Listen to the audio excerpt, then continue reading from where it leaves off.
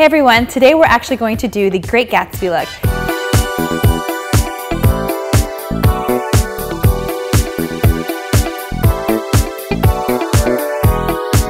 Now to prep the base, I'm basically going to take a really nice kind of just plain beige color and I'm going to just basically spread it all over the lid. And what this is going to do is it's going to help prep the area so this way all the eyeshadow goes on really nice and smooth. Now for the Great Gatsby smoky eye, you really want to do kind of a rounded smoky eye. So I'm just going to go ahead and grab a nice matte gray color and I'm just going to kind of do it in a more rounded shape. Start with the lid, applying it evenly. And when you're doing the Great Gatsby smoky eye, you really want to keep it rounded. So instead of elongated the smoky eye, you're going to go ahead and you're just going to keep it right in the center of the eye on the brow bone. Now using the same eyeshadow, you're gonna go ahead and use a pencil brush and you're just going to basically line along the bottom lash line.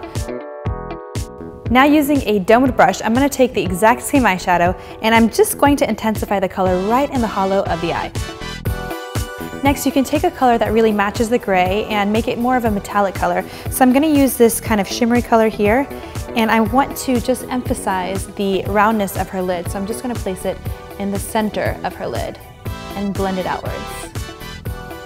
Next, we're just gonna grab a nice pencil crayon in black and we're just going to line along the upper lash line. Next, I'm just gonna grab a beige eyeliner and I'm gonna go ahead and line in the bottom waterline. And this is really gonna open up the eye and give you even more of a rounded eye. Now another really great tip to make your eyes look really nice and big, you can take that eyeliner and just draw a dot right in the outer corner and inner corner of your eyes and this will instantly open your eyes. Next, we're going to go ahead and apply some mascara. We're going to use the Marc Jacobs mascara here, and we're going to just brush this right along the lashes.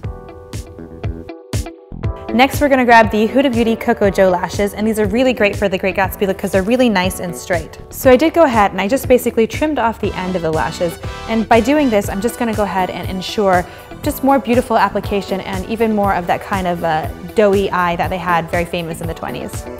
While bold brows are super popular right now, the 20s was really all about a nice, light, soft brow, and it was more rounded. So what I'm gonna do is I'm gonna take a really nice light brow pencil, and I'm going to start tracing her natural brow, and then at the end, I'm just going to kind of make it a little more rounded.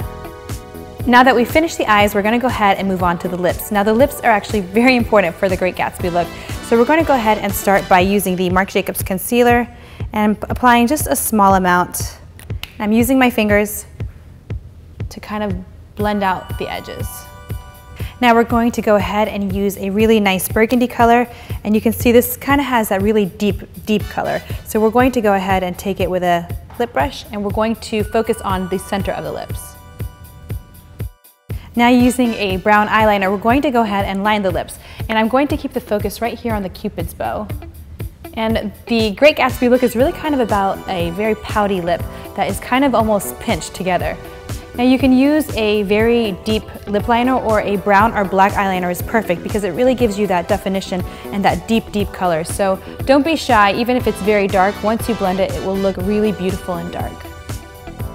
Now I'm going to use a more subtle contour, so I'm going to grab the Too Faced Sunbunny, which is a really beautiful kind of highlighted contour, and I'm just going to apply a straight line right in the jaw.